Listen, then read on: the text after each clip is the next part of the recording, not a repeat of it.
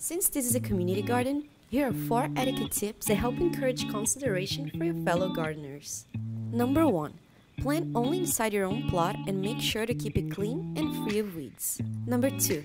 Remember to nicely return tools to the shed like so. Number 3.